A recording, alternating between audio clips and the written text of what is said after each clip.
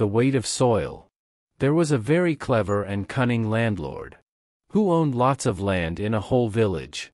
He cunningly loaned small amount of money when needy came to him for a help.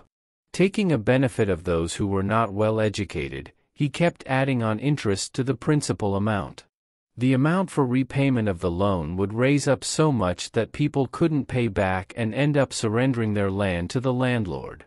Now, his eyes were on a land owned by an old lady near his house. She was all alone, no other family. She would plant her own crop and fulfill her needs. The landlord was not able to figure out how to lure her into giving up her land to him. He then bribed a government official in village and forged papers of ownership on his name. He along with a government official visited old lady and served her a notice to hand over the land to him. Old lady was shocked to know this and pleaded that she has been living here her whole life and this land has been owned by her ancestors, her loved ones are buried here and she inherited it, how can someone claim this now?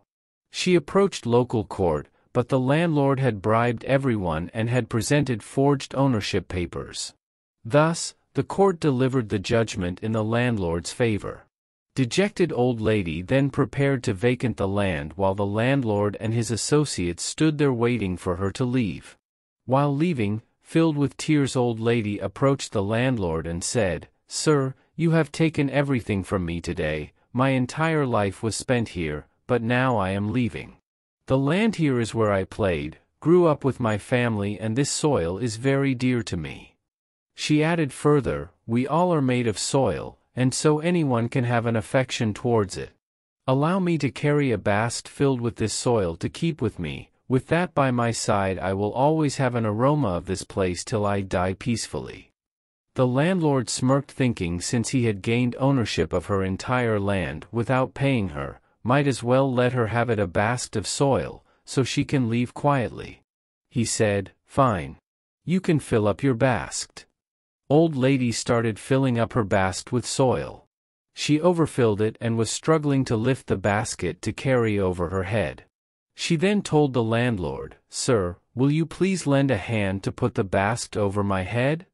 The landlord came forward to help and said, Oh you poor old lady, didn't you think before you overfilled this basket?